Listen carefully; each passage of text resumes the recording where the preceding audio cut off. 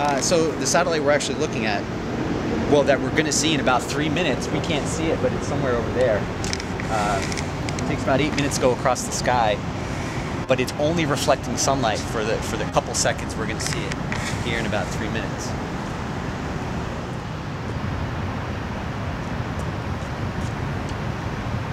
So the satellite we're going to see is Iridium 84. It's a thousand miles away and it was launched in 1998.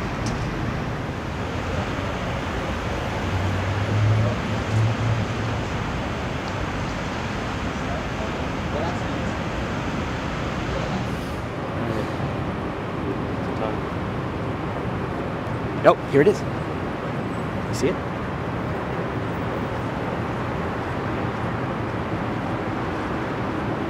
Cool. I didn't. I didn't get it. I. I, I think I, I, I mean, I definitely got I it. think so. you got it though. Yeah, just let it run a little bit.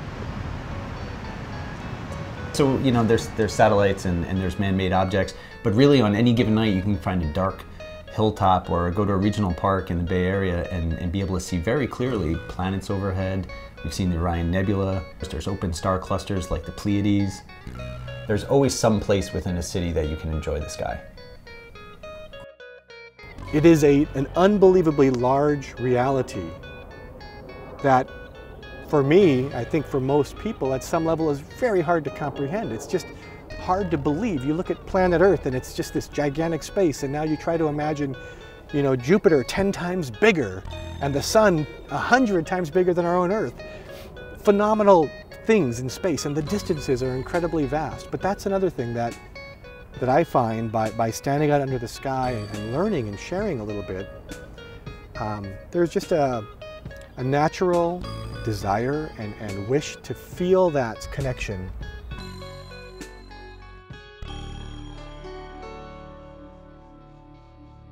Uh, my name's Don Saito, and I'm a volunteer at the Chabot Space and Science Center.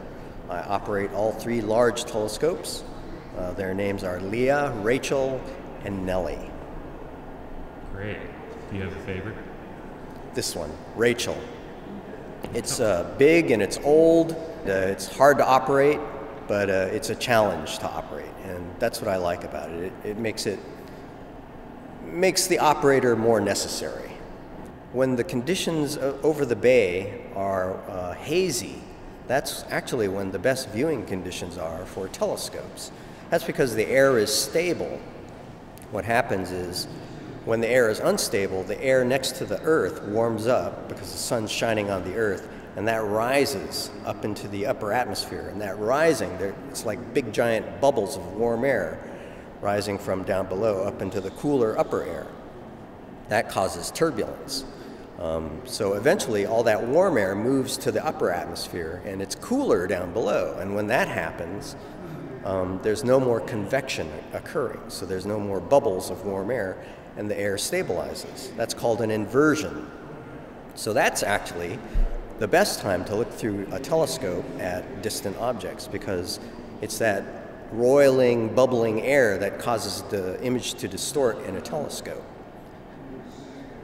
You go outside and look up at night and you're enjoying stars, you're seeing light, of course. It's an astonishing, kind of mind boggling thing that what you're looking at, of course, is thousands, sometimes millions of years in the past. So you truly are looking up into a time machine. In the nearby zone that we look at, what we enjoy looking at at night are things like the moon and planets. They're closer, they're brighter, they have more detail to look at, and they're being illuminated by that same sun that's illuminating us right now.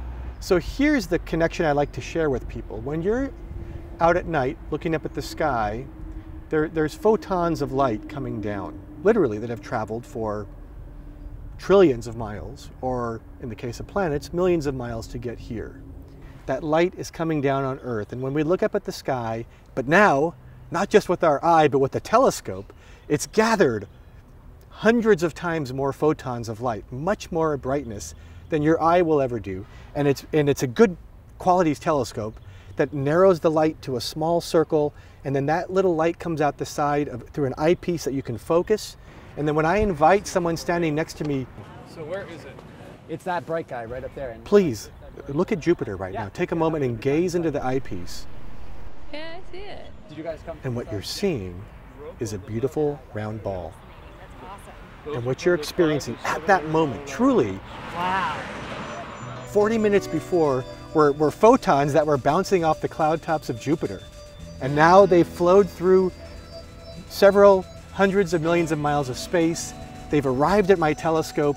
They've been focused. And now you step forward and your eye is receiving those exact photons of light. And at that moment, you can truly, truly say in the most real way that you are experiencing Jupiter.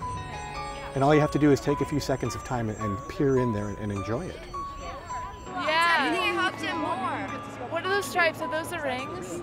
No, those are the cloud bands. Have you guys looked at Jupiter yet? Have you guys looked at Jupiter? Come look. This is the best. It'll only take a minute. Let me make sure it's all centered up for you. It's perfect, right in the center. There you go.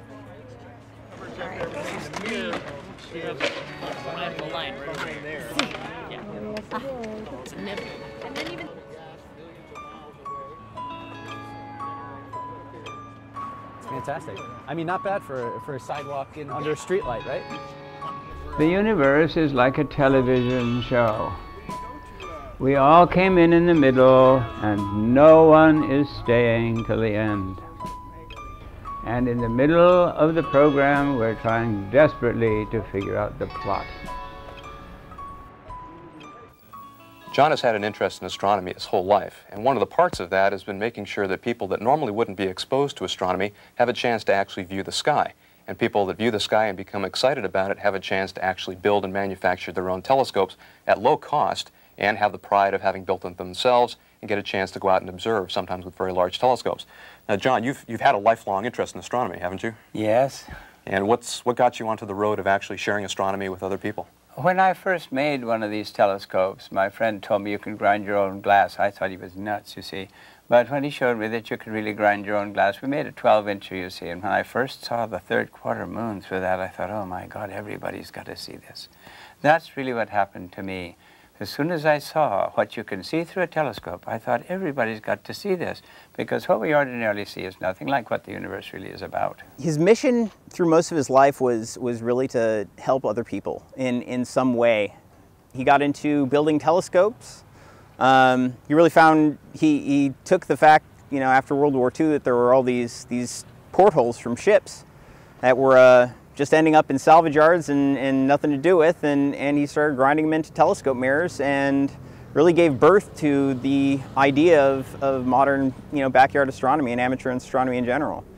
Um, before that, you know, the only, the only people that had telescopes, you know, you, you had to have anything of any size at all on a, on a tripod and those, that type of mount, you know, for a big telescope had to be stationary. You couldn't, you couldn't carry that around. So the invention of the Dobsonian mount really brought like large telescopes into the realm of being portable and that changed everything. Within the cities, you can see the planets and the moon. When with the sun telescope, you can see the sun. Because those things are not intimidated by these lights. None of them are, especially the sun. We go to places like Ghirardelli Square, Hollywood and Vine. Mm -hmm. We go to places where the people are. And the national parks we go, state parks, city parks, Indian reservations, beaches, all over the place we go, where the people are already there but have not the opportunity to see.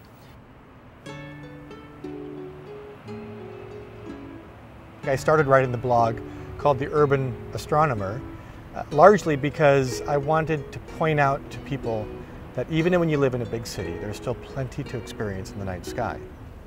We live in an indoor, nighttime, lit world. We're watching a television, you're at a table having dinner, you're cooking, you're doing something in your home. You walk outside of your home, you look up at the sky and you say, I think I can see three stars.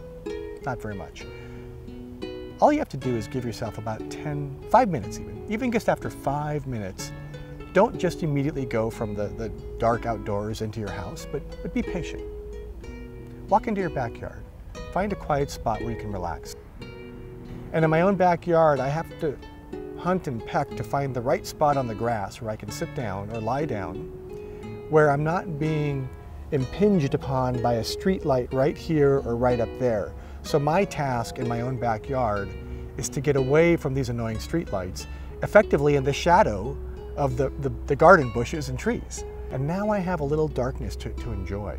As you begin to look up, you'll be amazed how quickly and how suddenly you're going to start to see a lot more objects, that there is truly plenty to see in a city setting. So you don't have to go out to the desert or the mountains or wait or wait till it's summer vacation or whatever. You can do it every night of the year if you want.